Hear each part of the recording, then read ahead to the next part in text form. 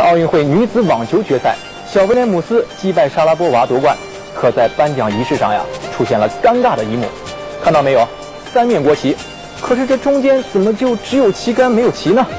话说呀，当时正在升国旗奏国歌，可是来了一阵风，中间的美国国旗就被刮跑了，只剩下了旁边的俄罗斯国旗和白俄罗斯国旗。网友说啊，恭喜伦敦又创造了奥运史上更不靠谱的一幕，冠军国旗被吹走。哈哈，没办法，咱们只能希望伦敦奥委会的工作做的是细一点儿，再细一点儿。颁奖仪式尴尬有那么多，国旗被风吹走，像浮云飘过，莫名其妙一阵风刮过，径直就将你国国旗吹落，三面国旗横飞被风吹过，你国国旗只是其中一个。没有定住，问你为什么？细枝末节不会影响喜悦，伤不起，真的伤不起。过期过期过期过期就随风落地。潮海有木有？中喊风波有木有？是严肃，严肃，严肃，严肃国旗问题。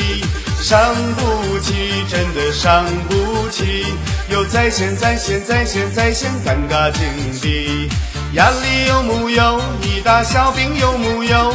这一世一世一世一到，下次生气。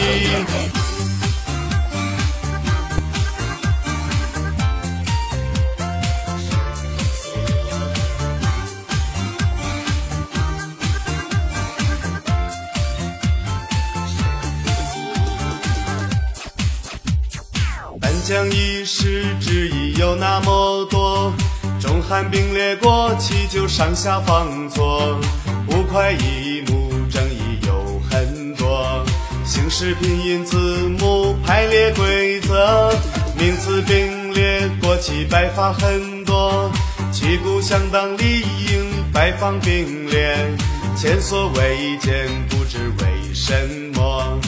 之前永不再犯此类过错，伤不起，真的伤不起。过期，过期，过期，过期就随风落地。朝喊有木有？中喊挂错有木有？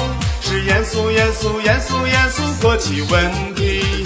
伤不起，真的伤不起。又再现，再现，再现，再现尴尬境地。压力有木有？一大小病有木有？这一世一世一世一到，下次升级。